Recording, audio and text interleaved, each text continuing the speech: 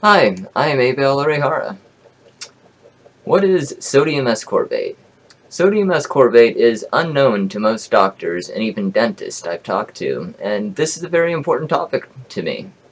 Well, I guess for me. Sodium ascorbate is 100% safe and will never harm nor hurt your body. Sodium ascorbate is what is formed when you combine vitamin C with Arm & Hammer baking soda. That would be these the vitamin C, and baking soda. Just basic household supplies. Mm. Uh, sodium ascorbate appears as a foam substance in your mouth when formed. So when you're brushing your teeth, it turns into a foam. The proper way to use sodium ascorbate is to first brush your teeth with Arm & Hammer baking soda. Uh, yeah. Then, without rinsing your mouth out, chew a basic vitamin C. Uh, like, not something that's mixed, not a multivitamin, just basic vitamin C, like you'd get at your store. Use your tongue, use your teeth, make sure you get the foam all around your mouth, just brush it in with your toothbrush. Make sure the foam's all around in your mouth so it can take care of all of your teeth. Make sure the foam gets everywhere. You do not need to rinse your mouth out afterward sodium ascorbate is completely healthy, and it's actually good for you not to wash your mouth out and just to drink it afterward. Uh, repeat brushing with bacon, Arm & Hammer baking soda and with vitamin C after every meal. This is the solution I use daily.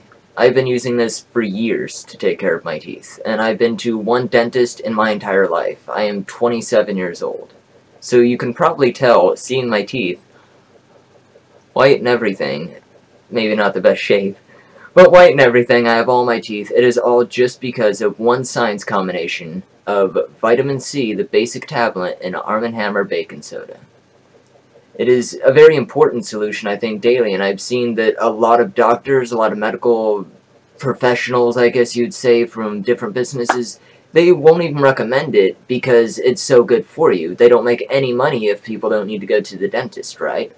Well, that's my thing. I hate liars. I hate scammers, people that make money off something that they shouldn't make money from if it's just free to the public anyway that you could be fixing your own teeth. Over, if you have a cavity, I do recommend a dentist, but you shouldn't have any cavities if you start using this and you didn't have a cavity before. Um, I have no mouth pain at all. Like, at all, ever is completely thanks to a single combination, which is sodium ascorbate. Mind you, when you first combine and use sodium ascorbate, it tastes terrible. It tastes absolutely like the worst thing you've ever tasted in your life, give or take a few medicines, which are really disgusting too. But sodium ascorbate tastes bad. It's really good for you, and just like most medicine, it tastes bad. Um, but you'll thank yourself every day after you start using it. Um, not only is sodium ascorbate amazing for cleaning your teeth, you don't need to spit it out, it's healthy for your body, and in fact, it will improve your immune system, it will make you healthier. I haven't had a cold in a very long time, probably seven years or so, and I live in Anchorage, Alaska, where disease kind of flows everywhere because it's a colder climate.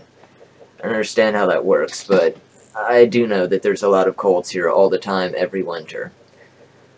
Um, so why is sodium ascorbate so healthy, everyone may wonder? With, uh, I mean, using baking soda, why would baking soda be, why would that with vitamin C be so healthy?